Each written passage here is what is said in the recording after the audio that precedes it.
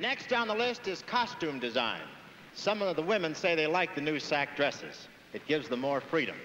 This keeps up, they're going to get a lot of them. I don't say a dress should be tight, but I do think when a woman gets into a dress, she ought to have some specific idea of where she is. it's a friendly gesture.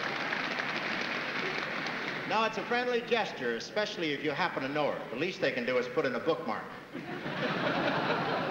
Goodness Hollywood designers aren't that way. They may put women in flour sacks, but they'll add a little yeast, too. It's amazing what they can do with a needle and thread in a plain little girl like Zsa Zsa Gabor. well, back to work. To present the Costume Design Award, two members of the Academy Board of Governors, Mr. Robert Ryan and Mr. Wendell Corey.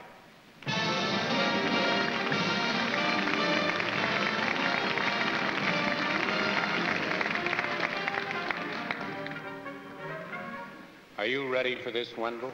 No. You got the dresses? No. Five nominated dresses will be modeled. You describe the dresses, and I'll describe the models. I don't think either one of us should try to describe the dresses. You start with the models. Okay, first, Miss Taina Elg, wearing a costume designed by Orry-Kelly for Les Girls.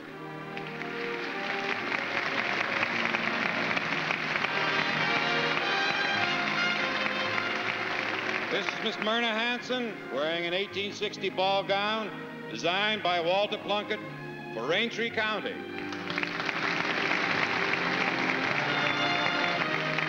Miss Pat Jones wearing a dress designed by Edith Head for Funny Face.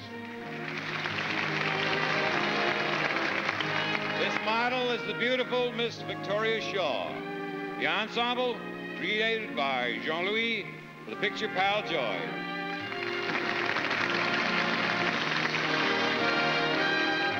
The lovely Rhonda Fleming wearing an evening ensemble designed by Charles Lemaire for the film An Affair to Remember.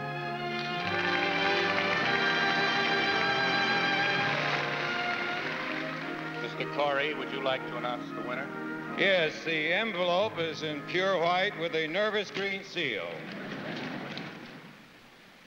The winner, Les Girls, Ori Kelly.